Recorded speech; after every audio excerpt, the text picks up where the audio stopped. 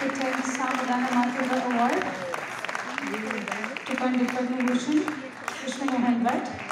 So under your guidance, let young musicians nurture, pave their way and carve their path to success that being the wish from all of us.